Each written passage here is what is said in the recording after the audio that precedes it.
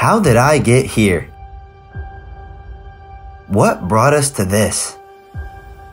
You want to see? You want to see what made this the easiest decision I ever made in my life? Watch this. It's been a long journey. Sacrifices and hard choices had to be made. But like I said, this one was easy. This was a wild ride, and I enjoyed every minute of it.